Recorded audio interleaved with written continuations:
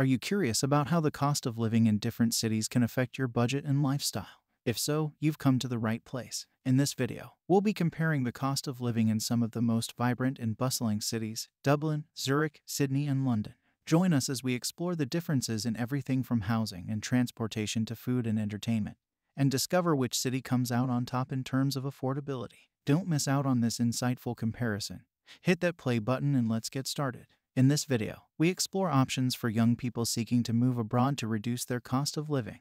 While countries like Australia, Canada, and England may seem like attractive options, Switzerland also has a lot of vacancies, making it an excellent option to consider. Although the cost of living is higher in Switzerland, the high salaries make it easier to pay high rent prices. If you're looking for an alternative to the more traditional options, Switzerland may be worth exploring. The cost of renting in Ireland is skyrocketing forcing almost 60% of 18 to 29 year olds to consider emigrating to reduce their cost of living. The high rent prices have made it difficult for young people to save for a house, and many are considering options abroad. According to one girl, renting a one bed apartment in Dublin costs around 2,100 euros per month, whereas in Sydney, one can rent a two bedroom apartment in a good area for the same price. Similarly, another young person stated that they would consider London as a better place to live compared to Dublin mainly because of higher wages and better job opportunities. Despite being one of the most expensive cities in the world, London's better public transport and lower rent in certain areas make it a more attractive option.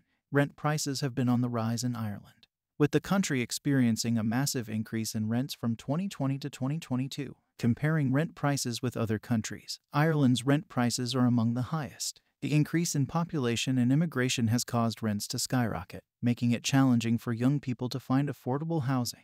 When comparing the cost of living between Dublin and Zurich, it is clear that both cities are among the most expensive in the world.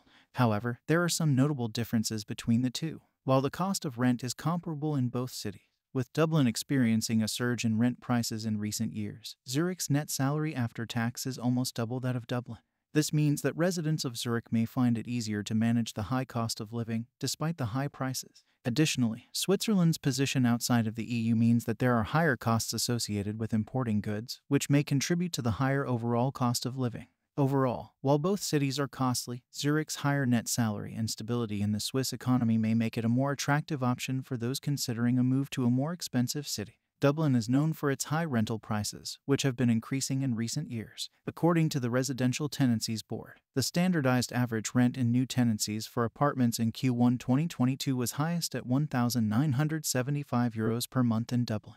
The average monthly asking price for a new rental in Dublin is now 21,702 euros. Rent caps were introduced in Dublin in 2016 to address the rising rental prices the government began capping rent increases for sitting tenants in mainly urban areas at 4% per year from 2016 and reduced the threshold to 2% a year ago. However, according to the Residential Tenancies Board, average rents in the city grew 2.4% from the start of July 2020 to the end of June 2021. Despite the cap, the number of high end apartments being built is pushing up rents, and the average cost of rent in Dublin is now more than 2,000 euros per month.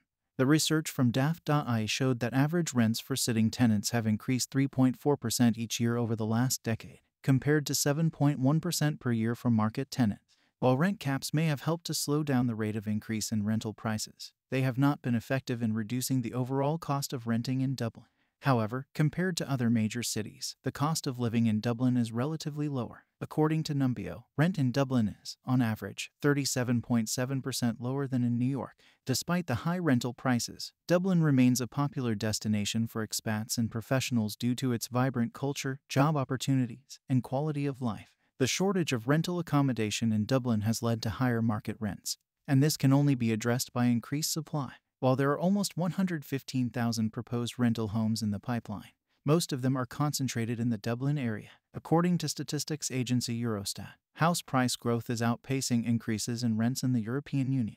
This trend is not new, as a report by the European Commission in 2021 showed that 70% of the population in the EU own their homes, while 30% rent it.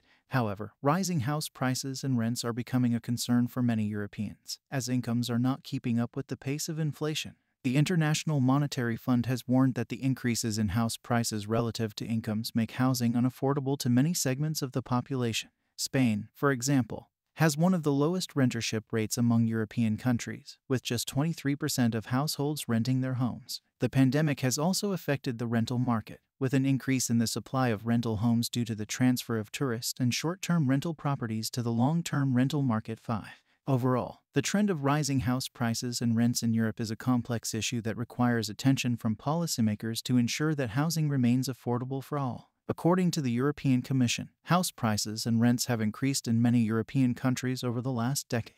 The largest increases in house prices were registered in Estonia, Lithuania, and Ireland, with Estonia experiencing the highest increase of 154%. In Ireland, house prices increased by 68% over the last decade, while rents increased by 82%. In contrast, Greece and Cyprus experienced decreases in house prices. The increase in house prices relative to incomes makes housing unaffordable to many segments of the population. However, according to the World Economic Forum, rents increased by only 16% during the period 2010 to 2021, while house prices gained 34%.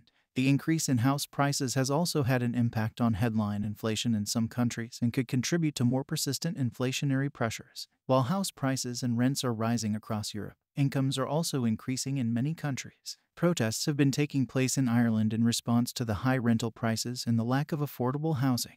In 2022 and 2023, thousands of people marched in Dublin, demanding a new policy that ensures dignified housing for all by providing homes at affordable prices and rents. The rental crisis in Ireland has been ongoing for several years, with Dublin becoming one of the world's most expensive places to rent. In conclusion, it's becoming increasingly challenging to afford rent in Ireland, and many young people are considering moving abroad to reduce their cost of living. In 2023, the Irish government introduced a rent tax credit of 500 euros per year for renters, which is expected to benefit over 400,000 people. The tax credit is available to all renters who rented private accommodation in 2022 or are currently renting in 2023. The credit can be claimed at any time during the year via the Manage Your Tax 2023 option in Revenue's My Account facility. The tax credit was introduced as part of Budget 2023, and each tax paying tenant in a particular property is eligible for the credit. The Green Party proposed a 1,000 euros tax relief for renters in 2023, which means that renters who apply for the credit at the end of the year will get 1,000 euros off their taxes in total for 2023. The rent tax credit is aimed at providing mm. some relief to renters who are struggling with the high cost of living in Ireland. The situation is unlikely to change anytime soon, making it essential to look for affordable alternatives. While popular countries like Australia, Canada, and England may seem like good options, Switzerland has a lot of vacancies making it an excellent option to consider. If you enjoyed this video and would like to receive more informative and helpful responses, consider subscribing to our channel. You will get notified of our latest updates and can learn something new every day. Click the subscribe button now and join our community.